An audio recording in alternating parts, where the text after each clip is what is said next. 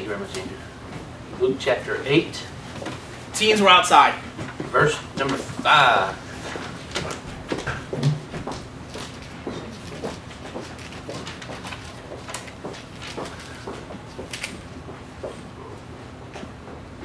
Well, I got up here and everybody left. I'll try not to be offended. Yeah, I tell you. well, it's Sunday school, and I like a very informal and conversational uh, Sunday school.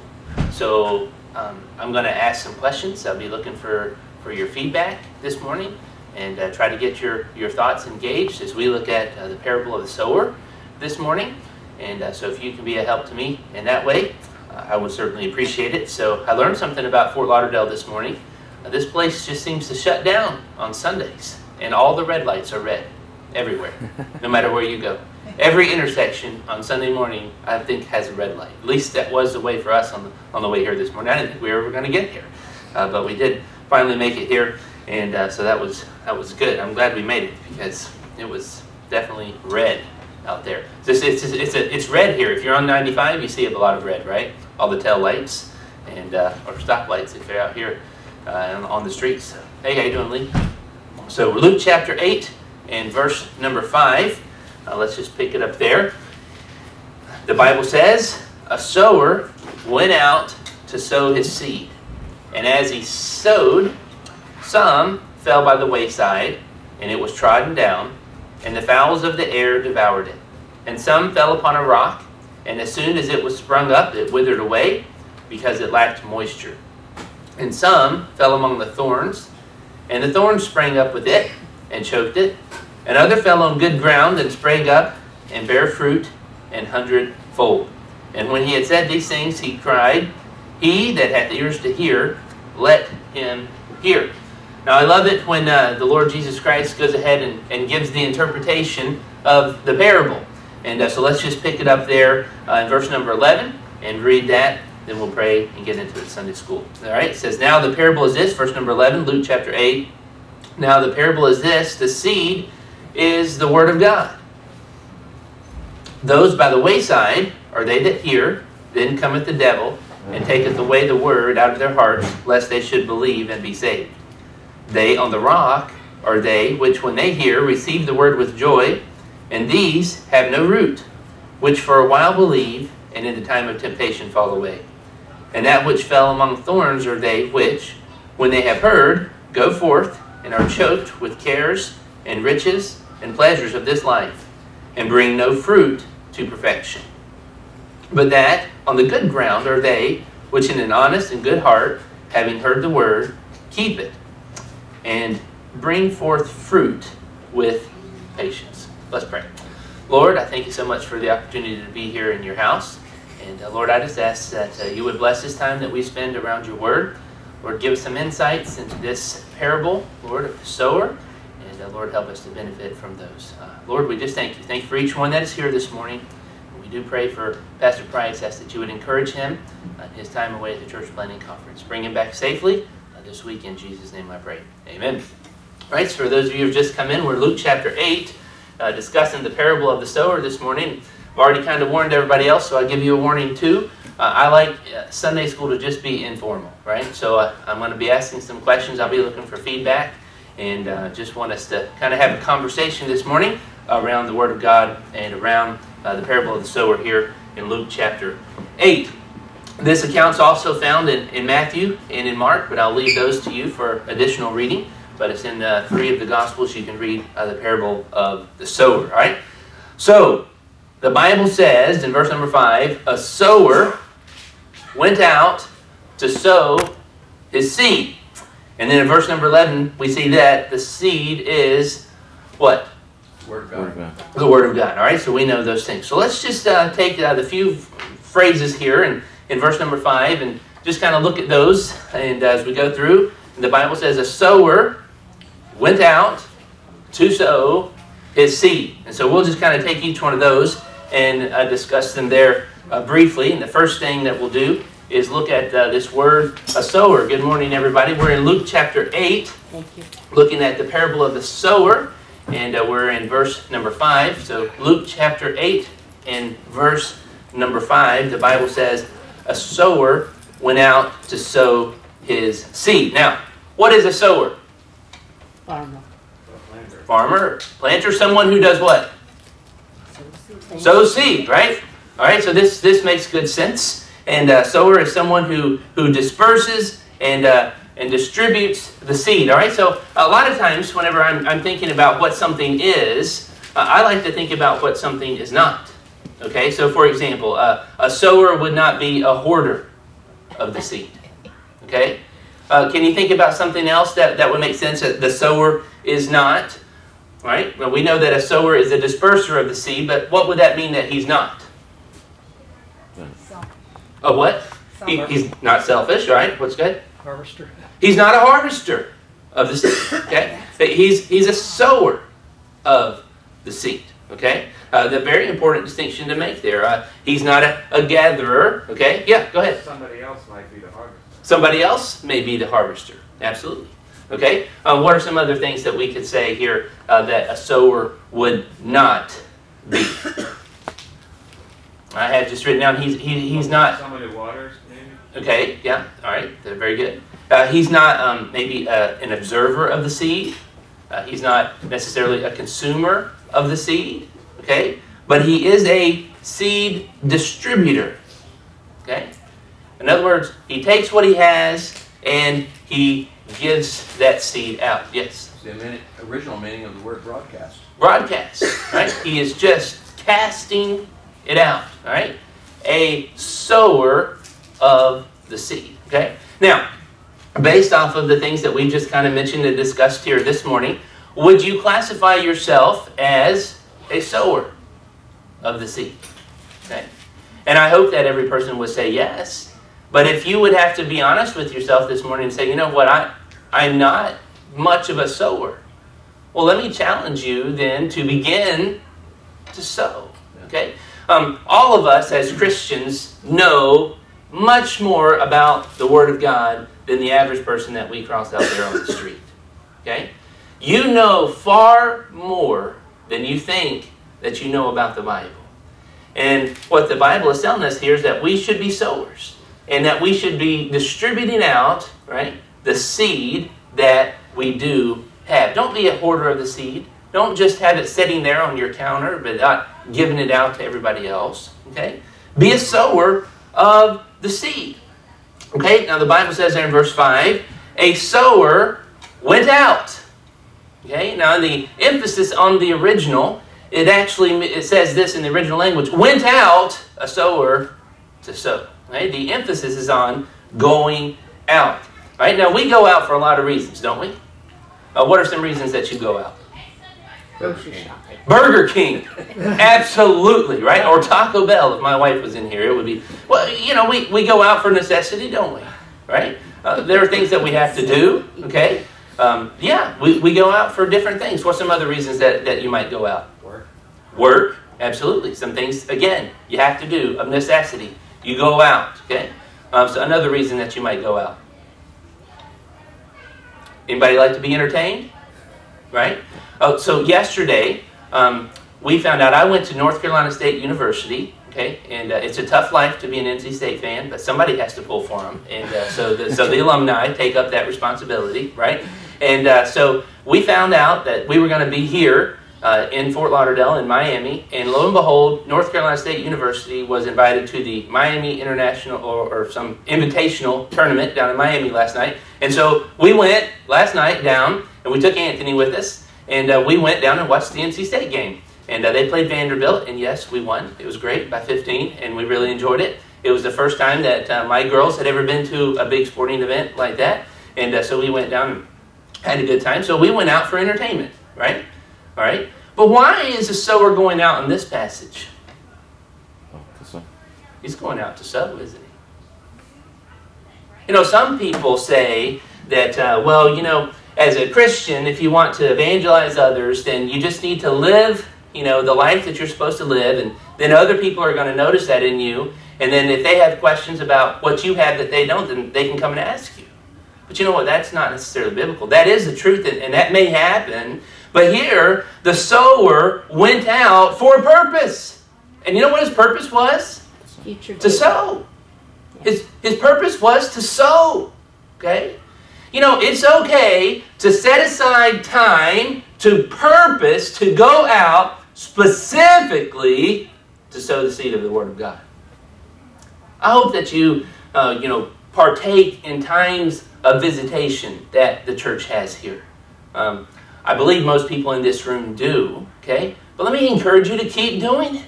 It is a biblical thing to set aside time specifically to go out to sow.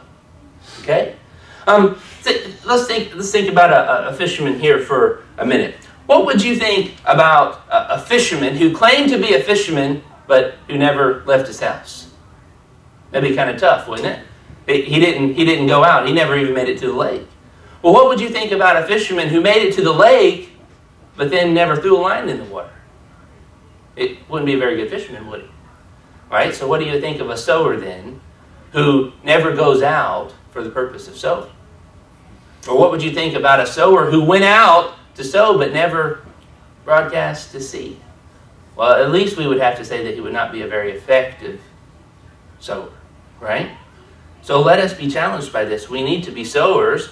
We need to be going out into the fields. And when we go out into the fields, we need to have the purpose of sowing. There's lots of reasons that we go out.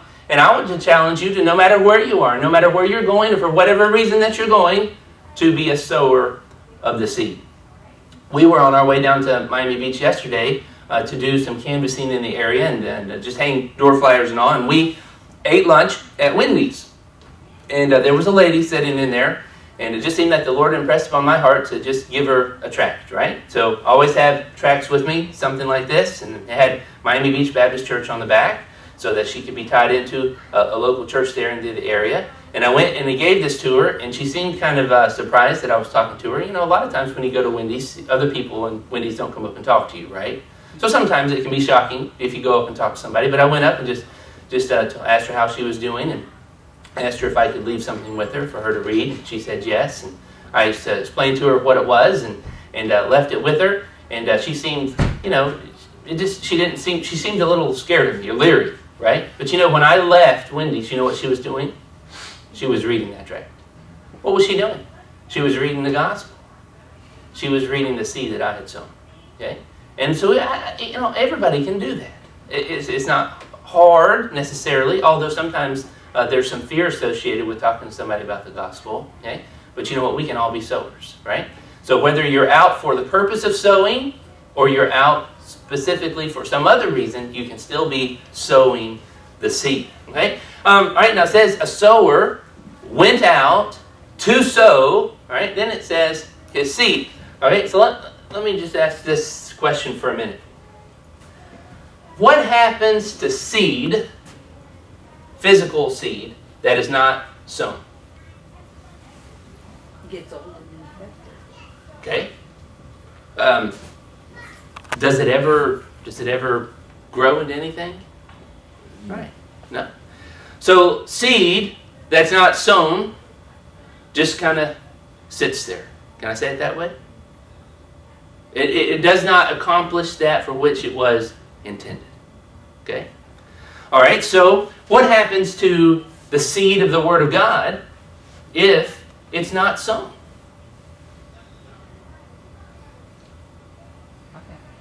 Nothing! That's exactly right.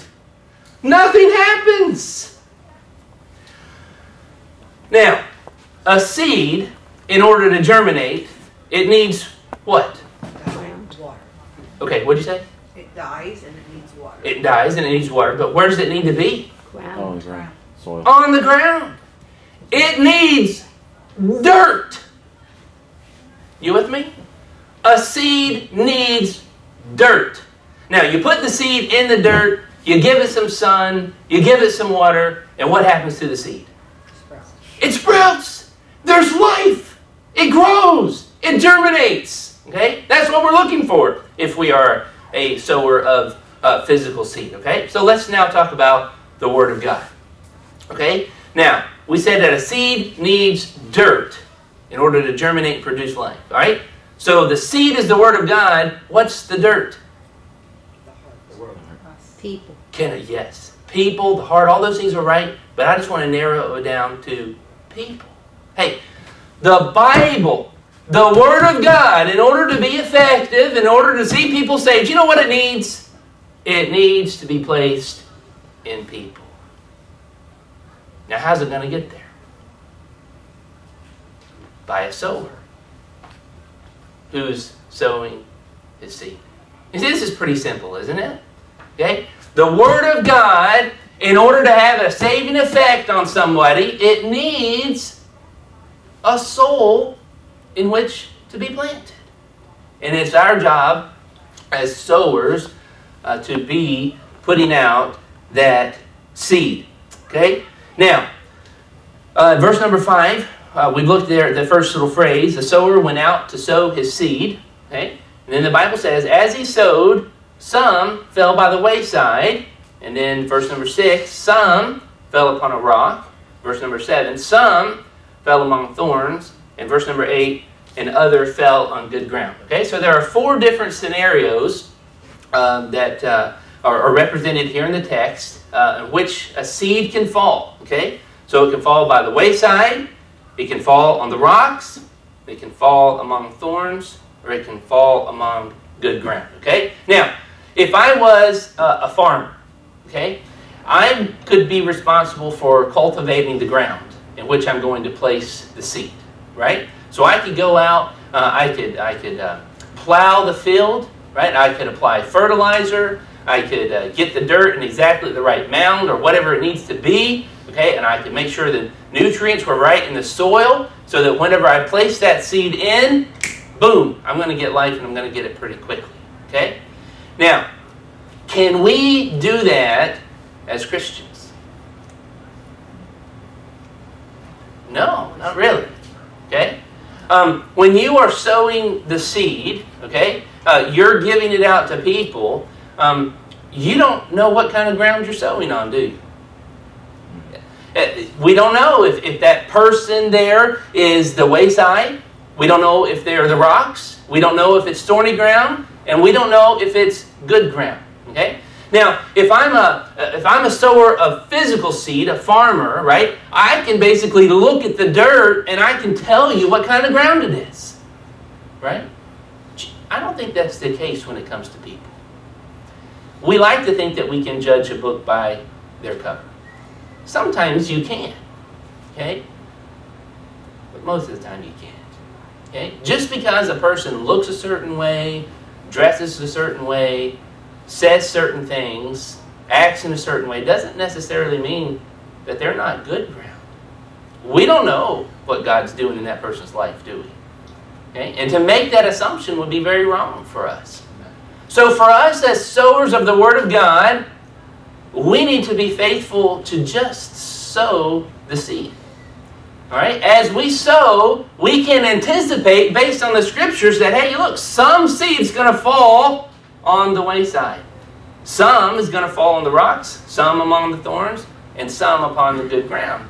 But listen, as a sower, you are not held responsible for where the seed falls. You are just held responsible for whether or not you're sowing. Don't keep the seed in your house. Right? Be a broadcaster. Okay? Be sowing that seed. Okay? Now, let's talk about this. All right? Um, Let's look up there in verse number 5. It says, The sower went out to sow his seed, and as he sowed, some fell by the wayside. It was trodden down, and the fowls of the air devoured it. Now let's look down for the interpretation of verse number 12.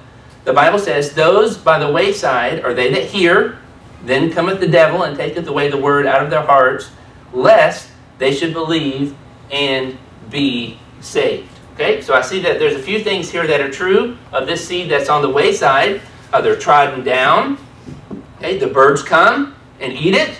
Okay, and then we see in the interpretation that these people do indeed hear the word, that Satan hinders them, and that they do not believe. The Bible says there in verse number 12, lest uh, they should believe and be saved. Okay, um, so somebody explain to me. Um, you can make up a case illustration or whatever, but explain to me what would happen if um, we're casting seed and it falls by the wayside.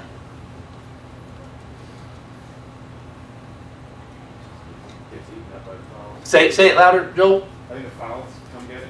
The fowls come get it, okay? Use people for an example. Explain to me what, what this would mean in real life with real people. Said somebody won't listen. What's that? Someone with no interest. Someone with no interest would absolutely work. Yes. Well, no, it, it wouldn't be that they wouldn't have interest. It would be somebody come alongside and then they would either scoff or mock, or they would be like, oh, do something to kind of basically, Discouraged. yeah, discourage the, the effect that God's having on Okay. them. Now that really was going to be coming into some of the other grounds. Okay. This one here, the wayside, is really the person just has no interest. In one of the other accounts of the of the gospel, it says that um, they having no understanding. Okay. That they just don't they don't get it. Okay. It goes over their head. It goes over their head. Okay. Um, yes. I had a good example. I think it was a lady, a Catholic lady in a jail ministry I was working in. I had a chance to talk to her about salvation. I just presented it what the Bible says about salvation. And she was really interested in it. And then she said, I need to go and talk to my priest. She Mhm. went and talked to her priest, and the devil snatched the The devil snatched her. Right. Okay. So all these things kind of all right. Sort of make sense. Yes. I was talking to my in-law, my, my daughter-in-law's father, and he just kept coming at me like men wrote the Bible. He was just. Yeah. I've had that just a couple Yeah. days ago. He Sure. was like, didn't want to hear what I had to say, so I finally said, you don't want to hear what I have to say, so I'm gonna stop the conversation. Yeah. Okay. It's a perfect example of stony ground. Okay. Either they have a misunderstanding, okay, a preconceived notion that presents prevents them from understanding, all right, what it is that you're saying, or they're just completely uh, disinterested or whatever, and they just don't understand what it is uh, that you're saying. Okay. Uh, you're casting the seed. Okay. And in this case, the seed never even germinates. There's no life that is given. Okay. Now, it can be very discouraging as a seed sower to always be sowing and having your seed land, okay, on the wayside. Okay, because there's just there's no there's no real visible benefit from what you are doing. Okay, um, can I just be honest with you? In our time in Miami Beach, I I have been sowing a lot of seed over the past month. Okay, and a lot. The majority of the seed that I'm sowing, I feel like, is landing on the wayside. Okay, people just aren't interested. You know, it's a place people are there uh, for the party life or whatever it may be. Okay, and uh, they're there for whatever reason, and they are just not interested in anything that the Bible has to say to them. Okay, now that can be discouraging, but remember what I said about the sower. Is the sower judged by the results of the sowing? No. No. He's judged over whether or not he sowed. Okay? So we need to be faithful even to be giving out the word to those people who are represented by the wayside. Would you agree with that? Don't they need the gospel? Absolutely. And who's going to give them the gospel unless we give them the gospel? Okay? So let's be faithful to do that. We were out with Pastor Price the other day, and um, do you believe that it's impossible for a rich man to get saved? No. I don't think so. Rich people get saved in the Bible, don't they?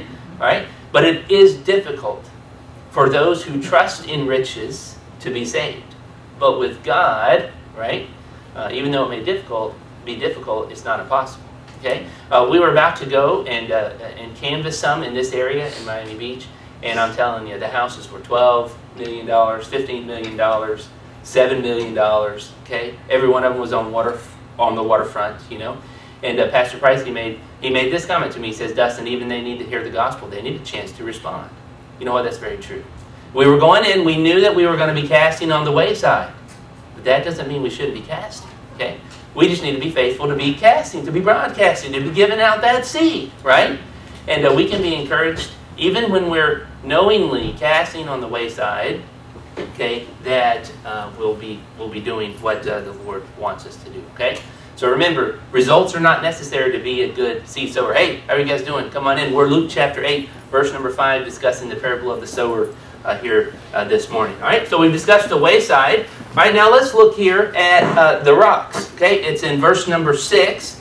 The Bible says, And some fell upon a rock, and as soon as it was sprung up, it withered away because it lacked moisture. Okay, and then down in verse 13, they on the rock are they which, when they hear, receive the word with joy, and these have no root, which for a while believe, and in time of temptation fall away. Now you be thinking about a, a case illustration of this. I'll ask you about it in a minute. All right, but I want to just note a few things about it. In verse number six, we see that it was sprung up. What does that sound like to you? It sounds like life. Doesn't it sound like life? The seed was planted in the soil. And when it was in the soil, it received the nutrients that it needed, and there was germination. And there's life. The seed is now sprung up. This is so exciting, all right? I'm an evangelist. I'm sorry. I get excited about seed springing up, all right? The seed has life. It's done what it's supposed to do, okay? This is very exciting, all right? So we see that there is life here, okay? Um, so in verse 13, we see that they also hear, they receive the word, the Bible says, with joy. You know, there's really no other way to receive the word with joy, right? In the, in the parable of, or the story, excuse me, of Zacchaeus, okay? Uh, the Bible says that Zacchaeus received him joyfully, right? Received the word with joy. All right, in verse 13, we see that they believe, okay? Now, according to John 3.16, what is required for salvation? Believing, right? So, they believe, all right? Now, they believe, there's life. I believe these people are saved, okay? And then the Bible says in verse number 6 that it withers due to lack of moisture. Verse 13 goes on to uh, enlighten us there that there's no root, and in time of temptation or trial, uh, they fall away. Okay? Now, can you think of some kind of a, a real life case scenario where you've seen the seed fall upon a rock, and uh, what would that look like?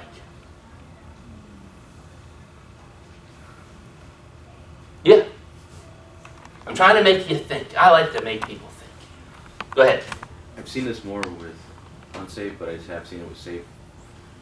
A lot of friends of mine um, that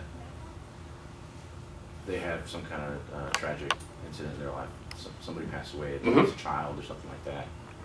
Where was God? Yes. You know, but you were with them.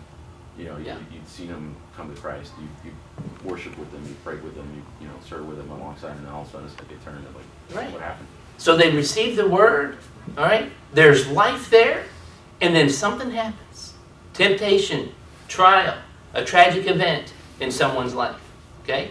And this because there's no root. In other words, because there's no depth of understanding spiritually, these people then fall away. Were Okay? they saved to begin with? I believe they are. There's life. There's germination. The Bible says they believed, they received the word with joy. All those are terms that are synonymous with belief. Okay? These people believe, and then they endure for a time, and then something happens and they fall away. In, in, in one of the other accounts, I'm not sure if it's Mark or if it's Matthew, one of them says that basically uh, they uh, take disagreement with the word right? Uh, that has been that they're learning. All right, so here they are. Uh, they they believed. All right, uh, they're re- they're sitting under the teaching, or the preaching, or they're reading the word, or whatever it is, and, and then they are offended because of the word. Okay? I believe this happened uh, in the past couple weeks here in Miami Beach. We ran into this lady. I'm not going to use her name, uh, but she had professed salvation. She actually had turned from being a Muslim in the past. Her family had disowned her. She was doing everything that she could to be right. Uh, she came to the church down in Miami. She sat under the preaching and teaching of God's Word. Pastor Price was preaching from 1 Corinthians on spiritual gifts, and he was in the section talking about tongues, right? And in there it says that women in the church should be silent. And this woman got offended. Why did she get offended? She got offended because of the Word. And as such, she says, I'm not coming back here. Okay? Does that mean that that person's not saved? No, it just means she's offended because of what she's heard about the Word. Does that mean that our message was wrong? Absolutely not. We're preaching the Word of God. But when people have no depth of understanding, there's no root there. The slightest trial, the slightest temptation, the slightest disagreement with the Word of God, and those people are going to go their own way. Okay? Listen, we should anticipate to see this as sowers of the seed. Okay? Are we judged because that person took off? No. We sowed the seed, we were faithful to sow. Can I make a statement here? Discipleship is so very important. If a person gets saved in your ministry here in Fort Lauderdale or down in Miami, that person needs to be discipled. They need depth. They need root in order to take hold so that they can have a grasp of the understanding of Scripture so that then they can face the temptations and trials and still stand true. It is so very important for us to have follow up, for us to have discipleship with those people that have trusted Jesus Christ as their Savior. Because without it, when something arises, uh, they're going to tuck tail and run. Does that make sense? All right. Let's look at the next one here. Uh, the thorns. We've got about 10 more minutes. All right. So the thorns, we'll see that up here on verse number 7. It says, And some fell among thorns, and the thorns sprang up with it. Okay, here's that same word. All right, now thorns are springing up with it. What's the it? The seed. So the seed is also springing up. There's germination. There's life. Okay, springing up. And then it says, and choked it. All right, so then down um, in verse number 14 is uh, where Jesus is here given the understanding. He says, That which fell among the thorns are they which, when they have heard, what's the next two words? Go forth. They go forth. There's life. Okay? And then it says, And are choked with the cares and riches and pleasures of this life, and bring no fruit to a perfection. All right? So here we find again they sprang up. There's life. All right? The thorns are springing up too. Uh, these people are those that hear. These are those that go forth, yet they themselves bring no fruit because they are choked by the cares and riches and pleasures of this life. Now, this one just makes sense, doesn't it? All right, haven't we all seen this to be true? All right, can somebody give me an example uh, uh, of, of, of, a case study, all right, for falling among the thorns? I think um, I know people where they, I think they get saved and they get baptized. I think just going back a few years, this is in Milwaukee. This Okay. He got he was baptized and he Yep. professed to salvation. So he professed salvation and some years later he's back doing. I don't want to talk about what he was doing. He's back doing the same things he was doing before. Absolutely. Yeah. The question is, was he really saved? Well, some people say no, he wasn't. But I say yeah, he was. Yeah. Well, you know, it, it, it's hard to discern people's salvation. Ultimately, there's only two people that know if a person is saved, right? That person and God. Okay? But you know what? It, it, it's interesting, though. In this case, there's definitely a study here for someone who trusts Christ as their Savior. They go forth, and then after time, you know what? They're choked out, and they place a higher level of importance upon other things. All right? Can I? Can I? I'll just be honest with you here. I believe that churches across the United States of America are filled to the brim with Christians who are being choked out by the thorns. They are, they have life. Okay, they're saved. But there's no visible fruit in their life. Why? Because the Bible's not that which is most important to them. Hey, they're more concerned about the pleasures of life. They live for pleasure. Okay? They live for riches. Okay? You see, you, you can be a Christian and, and make those bad choices, can't you? Okay? And if you make those bad choices, what's going to happen is there's going to be no fruit in your life to show for it. Right? So we should and then anticipate that as a sower of the seed.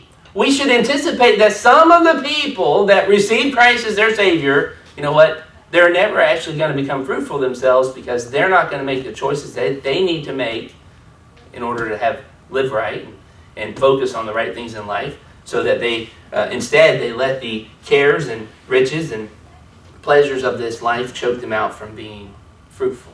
Doesn't that make sense? And, and if we're all honest with one another we know a lot of these people. We know a lot of these individuals higher values are placed somewhere else all right let's look at verse number 8 and look at uh, the, uh, the good ground here and it says another fell on good ground and what sprang up all right, here's the same life. All right, the same believing life. Sprang up. And then it says, and bear fruit an hundredfold. And then down to verse 15, but on, uh, but that on the good ground are they, which in an honest and good heart, having heard the word, keep it, and bring forth fruit with patience. All right, so they're sprang up, there's life. They hear the word, they keep the word, they have a good heart. They bear fruit a hundred times. And uh, fruit produced, fruit is produced with time. All right, do you notice that there? Keep it and bring forth fruit with what? Patience. Okay, you, know it takes time uh, to develop fruit, right? And uh, so, as seed sowers, we should anticipate that, you know what, when, when somebody believes they may be good ground, but you know what, it's going to take some time. And over time, with patience, you can see them bear fruit as well and become a sower of the seed. Now, this is, of course, what we are looking for, right? Don't we want to cast our seed on the good ground? Okay? But are we judged as sowers over where the seed lands? We're not, are? That's their choice. That's their decision. They have a free will, and, and, and we can't make choices for people. I'm sure your pastor wishes he could make choices for people, don't you? Right? But you know, he can't. You know, we're all responsible for the choices uh, that we make individually. Okay? Your job is to faithfully be sowing the seed. Listen, anticipate these different results. And don't let the results be a discouragement to you. Jesus told you about the results ahead of time. The sower is not held responsible for where the seed falls. The sower is held responsible for sowing. Okay? Um, let's just uh, make a little personal application to us here as well. Uh, we said that you know a seed needs dirt, right? And then the seed, the Word of God, needs people, doesn't it? Okay. You come here and you you come here to church, right, to receive the Word, don't you? Okay. So in that sense, can I say that you're dirt? All right. Now I'm not being discouraging. I'm just making a parallel from the text. All right. I'm not saying that uh, you you know being discriminatory or anything, right? All right. But dirt needs to be prepared in order for the seed to have an effect, doesn't it? Okay. You are responsible for how your dirt is prepared. You can come here on a Sunday morning, and yeah, it may not be the gospel that's being preached, but you know what? The Word of God is being sown, isn't it? Right? Uh, Pastor, he, he's preaching through the book of Revelation right now. You know what he's doing when he's standing here? He's sowing the seed, and he's sowing the seed to you. So you know what? Inside of a congregation like this, you know what? There's um, there's the wayside. There's rocky soil. There's thorns, and there's good ground. Now, as a sower of the seed, when we're talking about sowing the gospel, and we're the one distributing the seed, okay, we can't do anything to prepare the dirt. But when you are the one receiving the seeds, you're the dirt. And you can do something about the preparation of that dirt. And you have to have your dirt prepared in order to receive the Word of God. The Bible refers to it there in verse 15, but that on the good ground are they which in an honest and good heart, having heard the Word, and then bring forth fruit with patience. What are you doing to prepare your dirt? Hey, be a sower. Cast the seed that you know on every kind of dirt that you can find.